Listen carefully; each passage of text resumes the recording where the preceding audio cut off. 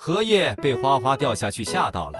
等花花再来的时候，动也不敢动。荷叶在上面睡觉，花花在下面挠痒痒。挠完上去找荷叶，一把抱住荷叶的脑袋，趴在荷叶身上。木架太窄了，荷叶一个翻身，花花就挂在了边上。荷叶拉着花花的脚，没拉住，还是掉了下去，被吓得够呛。紧张地观察花花，还好花花没事，去秋千上做起了热身运动，然后又去找荷叶，给荷叶做了个全身按摩。荷叶这次是再也不敢随便翻身了，乖乖趴着不动。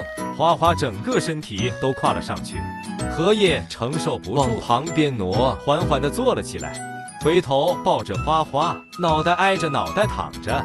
花花调整姿势坐了起来，荷叶也调整姿势，横躺着抱着花花玩，将花花挤到了木架底下。这次花花有经验，抱着木头慢慢滑下去。没一会，花花又又又来了，荷叶起身迎接，花花一头扎进荷叶怀里，挤到了座位上，抱着荷叶一顿贴贴，从大宝座一路玩到了上方，直到谭爷爷来喊，才心满意足的走了。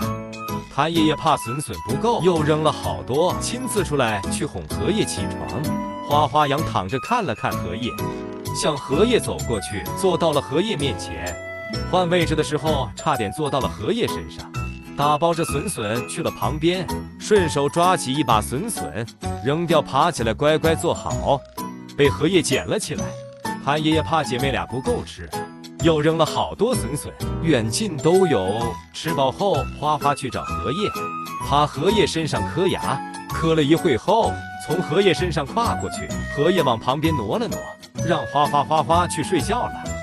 荷叶一直睡到谭爷爷亲自出来后，地盆盆过去，